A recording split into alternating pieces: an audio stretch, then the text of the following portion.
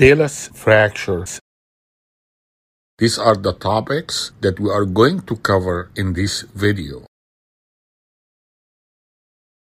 Basic anatomy and blood supply of the talus.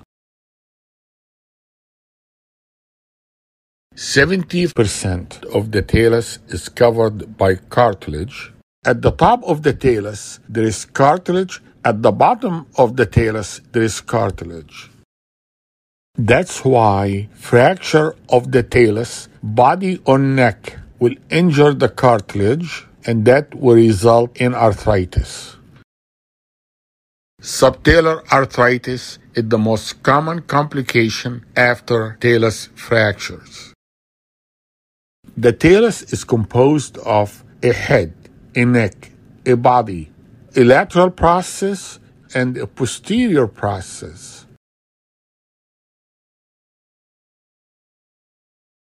Artery of the tarsal canal supply the lateral two-thirds of the talar body. The deltoid branch of the posterior tibial artery may be the only blood supply remaining in type 3 talar neck fractures.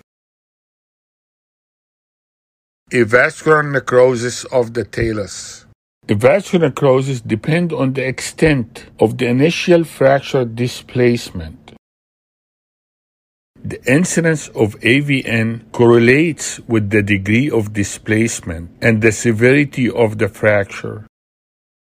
It goes from 10% in type 1, the non displaced, to 100% type 4, that is displaced in three joints. Mechanism of injury and the classification of talar fractures. The talus becomes fractured by forced dorsiflexion and axial loading. The fracture usually occurs to the talar neck, but it may occur in the body in about 15 to 20 percent of cases. Patient may have a lateral process fracture. The patient may complain of lateral ankle pain, and this fracture could be missed thinking that the injury is just an ankle sprain. Another name for that injury is snowboarder's fracture. CT scan is very helpful for this fracture. The posterior process fracture, it is a very rare entity. It's difficult to see, difficult to diagnose, and the surgery is usually difficult. Hawkins classification for talar neck fractures. Type 1 non displaced fracture with 10% avascular necrosis. Type 2 fracture of the neck with subtalar dislocation or subluxation and 50% AVN. Type 3 fracture of the talar neck with subtalar and tibiotalar subluxation or dislocation with the incidence of AVN is high 90%. Type 4 fractures with subtalar and tibiotalar dislocation in addition to talonavicular subluxation or dislocation. The AVN is 90 to 100%. Lateral process fracture. It can be missed as an ankle sprain, and if it is displaced, you need to do surgery.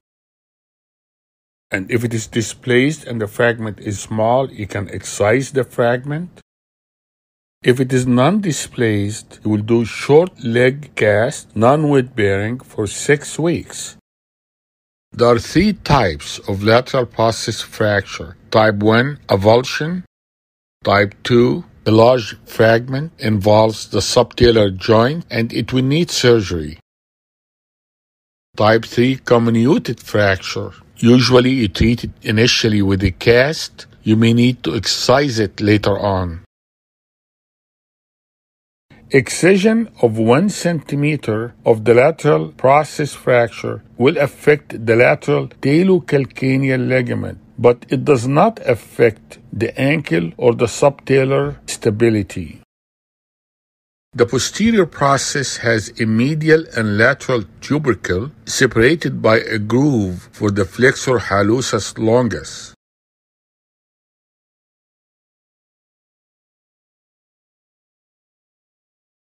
The posterior process fracture is a rare injury, usually missed on the initial x-rays, and it can be misdiagnosed as an ankle sprain. It could resemble an os trigonum. What is the Hawkins sign? It is a subchondral lucency seen in the dome of the talus at six weeks on mortise view x-rays.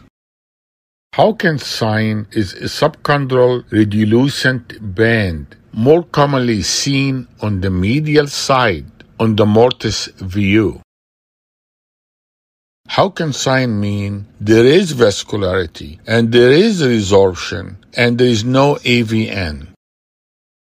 Absence of radiolucency should not be a reliable sign for the development of avascular necrosis. If you don't have Hawkins sign, it means there may be interruption of the blood supply and the vascularity of the talus.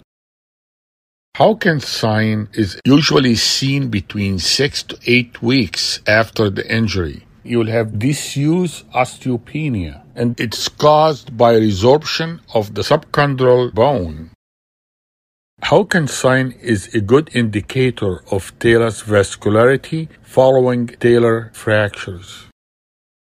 It is unlikely AVN will develop at a later stage after the injury if the patient X-rays shows the Hawkins sign. Hawkins sign is 100% sensitive and 58% specific. If it is present, it indicates that the talus is alive and there is a good prognosis. Its absence does not rule out an intact vascularity.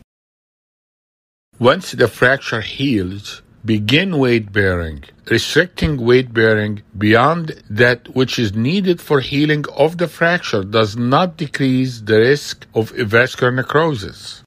At 3 to 6 months postoperatively, AVN can be seen on the x-rays as sclerosis radiology. You're going to get x-rays, AP, lateral, and Canale view. In Canale view, the foot is 15 degrees pronated with maximum plantar flexion. The x-ray beam is directed 75 degrees cephalad. CT scan is very helpful in talus fractures. MRI is sensitive for detecting vascular necrosis as it shows decreased signal on T1. In MRI studies, the use of titanium implants for surgery allows better visualization than stainless steel implants. Thank you very much. I hope that was helpful.